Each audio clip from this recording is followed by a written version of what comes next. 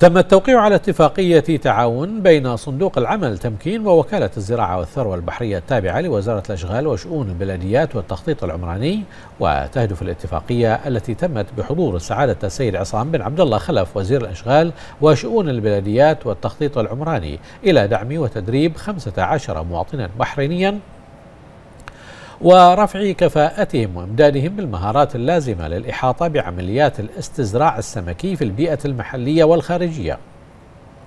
وتعريفهم بجميع التحديات التي قد تواجههم في الظروف التي تتطلب منهجا خاصا وطرقا علمية وعملية للتعامل مع آليات استزراع الأسماك خصوصا تلك المتعلقة بدرجة الحرارة والملوحة في المزارع السمكية ونوعية الأمراض التي قد تصيب الأسماك.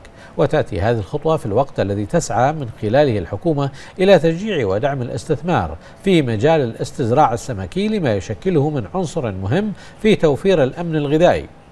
إلى جانب الاهتمام الحكومي بضرورة دعم الكفاءات البحرينية وتهيئة الأرضية أمامهم من أجل الانطلاق في مشروعاتهم الطموحة. تم التوقيع اليوم مع تمكين آه، على برنامج الاستزراع السمكي آه، برنامج طموح آه، لتدريب 15 من الراقبين في الانخراط في هذا البرنامج من الجنسين. وأيضا من الشركات العاملة في هذا المجال. آه هذا البرنامج آه هذا الدفعة الأولى وهناك دفعات قادمة أيضا.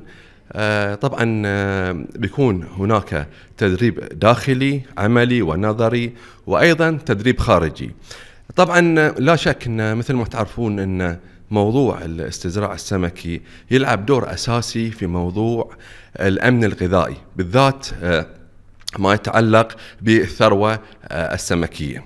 فإحنا حقيقة هناك توجه للتركيز على هذا المجال ورفع آه، نسبته في آه، السوق المحلي دعم تمكين في هاي المبادرة بشكل أساسي بهدف دعم الشباب البحريني وتطوير مهاراتهم وإعدادهم حق أنهم يخوضون في هالمجال النوعي صراحة. وطبعا مجال الأمن الغذائي الحين له توجه كبير.